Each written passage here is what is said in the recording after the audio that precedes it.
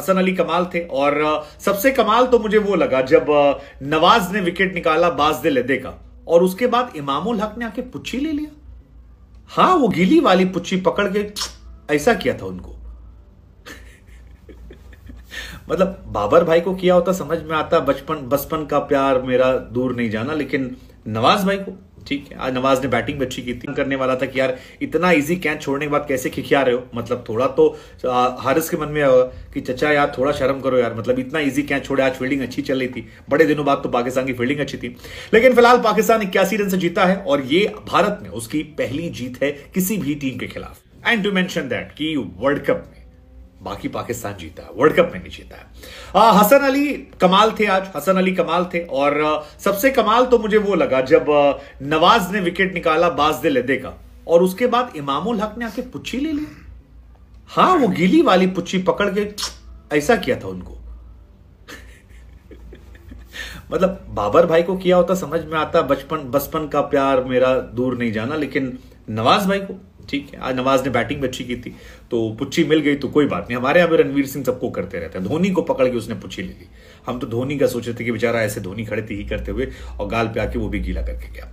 लेकिन आज के दिन जो है वो बाजदे लेदे के नाम पर है यार, कमाल की शख्सियत, कमाल की प्लेयर और जितनी तारीफ़ उस बंदे की जाएगा चार विकेट आज उसने निकाले और फिर सड़सठ रन, अड़सठ बॉल में बनाए और एक बड़ा मैसेज जो है उसने दिया। नीदरलैंड के लिए आने वाले टाइम में बड़ा स्टार बनने वाला विक्रमजीत सिंह जो है उन्होंने भी बड़ा मैसेज दिया। पैंसठ रन बनाए, नीदरलैंड में रहते हैं। पंजाब में उनका घर है। जब वहाँ बहुत ठंडियाँ होती हैं तब वो चले आते हैं यहाँ पर और यहाँ भी रहते हैं। तो यहाँ वहाँ मतलब बड़ी अच्छी बात है कि कमाल की चीज़ है। हमने आपको स्टैट बताया था कि बाजिल लीदे के पिताजी जो हैं 19 बॉल डक डक ज़ीरो पे गए थे पाकिस्तान के खिलाफ 1996 में। आज लौंडा विकेट भी निकाला था रन भी बना रहा था। आ, इंडिया के खिलाफ 2003 में इनके पिताजी ने चार विकेट निकाले थे। तो अच्छा है मतलब आई मीन आज फादर बहुत प्राउड होंगे इनके ऊपर बाजिल के ऊपर होना भी चाहिए। वैसे ही प्राउड होंगे, जैसे आज पाकिस्तान जो है हारिस रऊफ पर प्राउड होगी। यार, सत्ताईसों ओवर बढ़िया था यार। उसी ओवर मैच पलटा था, जब चौका पड़ा, फिर आके विकेट लिया, फिर डॉट फिर विकेट लिया, फिर डॉट और फिर एक कैच छूट गया था। तो वो एक बढ़िया ओवर था। एक मूवमेंट और बहुत बढ़िया हमको लगा था कि बास दिल ने जो हारिस रऊफ को छक्का मारा और फिर धीरे से आँख मार दी। हमारे लिए वो भी बढ़िया क्यूट मूवमेंट था कि यार, बढ़िया आँख मारी और देखने लायक सीन था। तो बाजिलेदे ने बराबर कर लिया। बराबर क्या कर लिया? दरअसल 2022 में जो पाकिस्तान और नीदरलैंड खेल रहे थे तो बाजिलेदे को हारिस रॉफ ने तेज गेंद मारी और उनकी शायद लेफ़्ट आई जो थी, उसके नीचे बॉल लग गई। तो पूरा खून खून खून हो गया था। आज उनको मौका मिला तो एक छक्का मारा और मतलब उन्होंने रिस्पेक्ट अर्न कर लिया बाजिलिदे ने, आप याद कीजिए, एक मैच जिसमें उन्होंने खूब सारे छक्के मारे थे जेसन होल्डर को। वहाँ पर वो मैच में वो हाईलाइट हुए थे। और आज उन्होंने बताया कि उनके पास और पोटेंशियल है और आने वाले समय में वो टी ट्वेंटी क्रिकेट में या इंटरनेशनल क्रिकेट में काफ़ी इंटरेस्टिंग हो सकते हैं। आईपीएल में भी शायद हम उन्हें देख सकते हैं। सो ये रहा।